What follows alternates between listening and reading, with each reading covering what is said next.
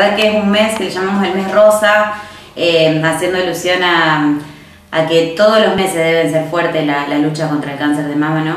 pero mm, este mes lo tomamos como de gran impacto para poder transmitir, informar y sensibilizar a la población respecto a los cuidados, a los controles y a la prevención que sigue siendo lo más importante. Exacto, uno piensa en la mujer, pero los hombres también tienen que estar alertas. Sí, sí, siempre nombramos los signos de alarma, ¿sí? en, el hombre, eh, el dolor, los pequeños bultos que se pueden formar en la glándula mamaria serían los signos de alarma para consultar en, la población, digamos, de los hombres. Exacto. Y nosotros como mujeres, ¿a qué tenemos que estar alertas?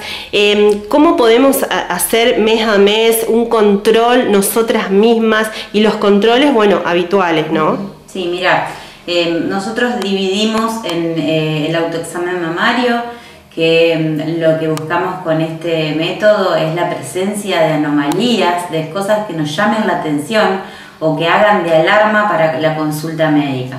Son específicos de un cáncer de mama, es decir, si cuando me hago ese control encuentro un, pequeño nódulo, una pequeña formación, ¿significa que tengo cáncer de mama? No, pero sí significa que tengo que hacer un control como para rastrear y buscar un poquito más en profundidad eh, ante la presencia de estos síntomas, de estos signos que serían eh, abultamientos, la piel Em, rojiza, el hundimiento del pezón, em, la, llamada piel de naranja, ¿eh? Eh, la presencia de mucha vascularización, de muchas venitas en la zona de mamas. Esas cosas hacen eh, a la alarma para consultar al profesional de salud. El autoexamen mamario se hace una vez al mes, generalmente después del periodo de menstruación y mm, eh, se hace obviamente con inspección, es decir, mirándonos al espejo, buscando asimetrías, eh, se hace con la palpación y eh, en esto tratamos siempre en la consulta de explicarles la manera correcta de hacerlo, ¿sí? ¿Por qué? Porque puede que nos asustemos demasiado ante cosas que nos generarían alarma. Entonces esto es un aprendizaje y en la consulta tratamos de darle todas estas pautas. Por otro lado, importante una vez al año hacer los controles ginecológicos eh, con su médico de familia o su ginecólogo de cabecera. Eh, y por otro lado, la mm, realización de las mamografías. Eh, siempre el fuerte es a partir de los 45 50 años para adelante tratar de tener sus mamografías al día. Hoy en día un estudio que se hace en los hospitales públicos y también se hace en, el privado, pero seguimos teniendo un poquito de resistencia a algunas mujeres. Eh, justamente en el SAMCO controlábamos las estadísticas y tenemos población que todavía eh, no se hizo su control, por eso tratamos este mes de hacer algo fuerte en base a la, prevención, ¿no? ¿Por qué? Porque la mamografía detecta aquellas lesiones que eh, la, palpación y la visualización no llegan. Entonces, por eso es muy importante detectar lo micro y llegar a tiempo. Exacto. ¿Qué pasa con las jóvenes, no? ¿Cómo podemos, eh, bueno, empezar a concientizar desde temprana edad? Eh, a lo mejor la mamografía no se empieza a hacer a los 20 años, pero bueno, ¿cómo hacemos para que se tome conciencia? Primero explicar que mm, el cáncer de mama genera la causa más eh, frecuente de muerte en las mujeres, ¿sí? por causa tumoral. Eh, saber que muchas mujeres la pelearon, ¿sí? la lucharon y que mm, van a seguir sucediendo ¿sí? diagnósticos. El tema es llegar a tiempo. Eh, a las mujeres jóvenes les recomendamos la realización del Papa Nicolau, tan importante como los controles de, de mamas. Eh, y enseñarles a hacer el autoexamen mamario. ¿sí? Por otro lado, eh, como ya saben, siempre voy a ir a la prevención.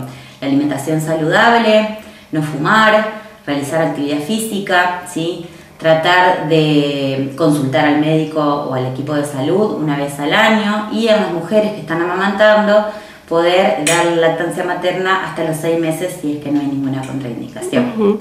Em, en cuanto a lo que son, eh, digamos, los abordajes a las personas que tienen cáncer de mama, ¿cómo han cambiado a lo largo de estos últimos años? Porque bueno, sabemos que la medicina va avanzando, van apareciendo cosas nuevas. Sí. Mira, es que siempre es interdisciplinario, ¿sí? tratando en primer lugar de no generar miedo, sino eh, sensibilizando, concientizando de todo lo que te vengo diciendo, si llegamos a tiempo, si tenemos la posibilidad de hacer detección mediante controles o mediante autoexamen, obviamente vamos a, llegar más rápido. ¿sí? Eh, hay muchas formas de tratamiento, esto dependerá de cada situación en particular, pero creo que, estas campañas sirven para, tener también un envión, una, una positividad de que se puede darle pelea y llegar en los estadios iniciales. ¿sí? Creemos que la prevención es lo más importante. El equipo del SAMCO de San Carlos Sud se une en este mes de lucha contra el cáncer de mama. Hace actividad física todos los días.